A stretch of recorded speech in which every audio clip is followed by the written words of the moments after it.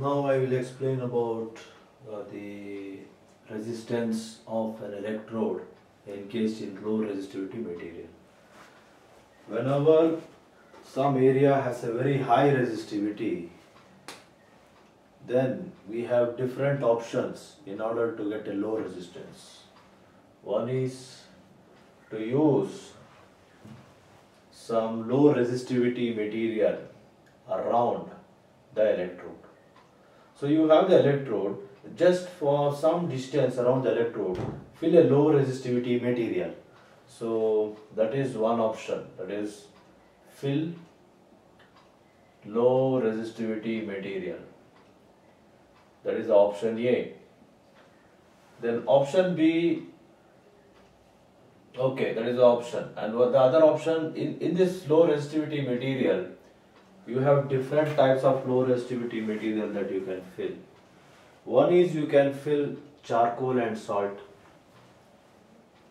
but this will lead to lot of corrosion of the electrode. If you fill charcoal and salt around your electrode, this electrode will undergo lot of corrosion. The second thing is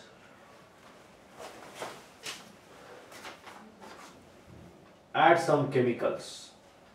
When I say chemicals, they are some salt. For example, magnesium sulfate or calcium chloride or sodium chloride.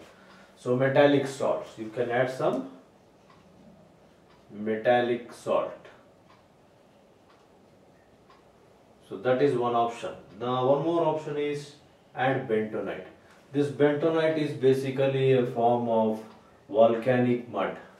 It has lot of uh, salts, uh, metallic salts naturally in it. So because of that the resistivity will be very low.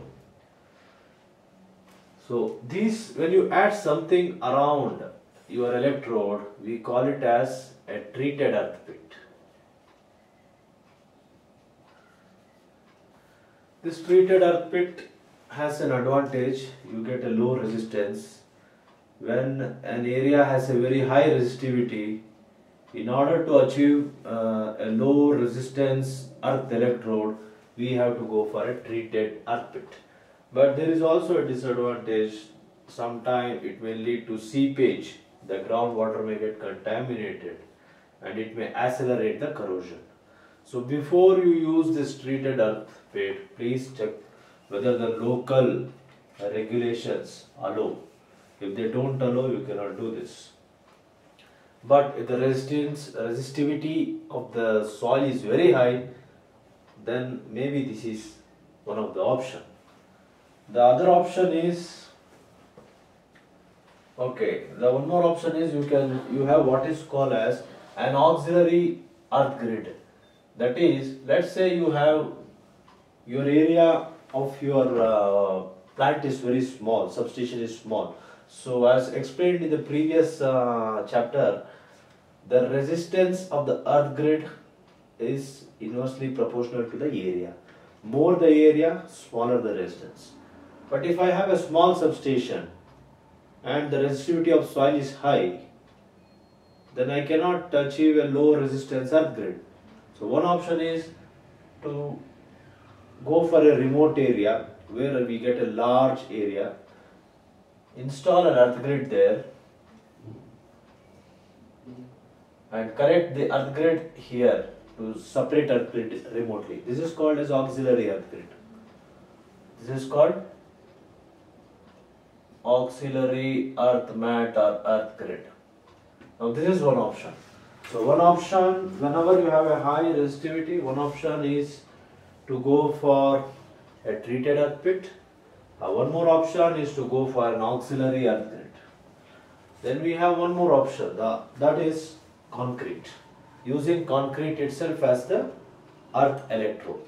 I will explain why this is not preferred. Let me rub this.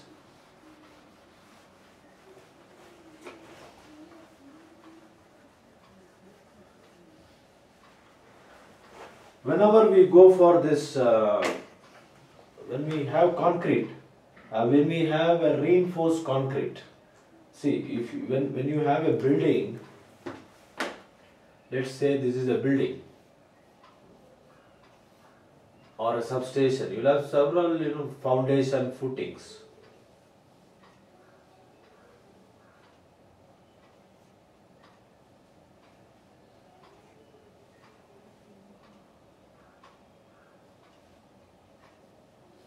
you'll have several foundation like this footings. Now each of this foundation footing will have reinforced bar inside them surrounded by the concrete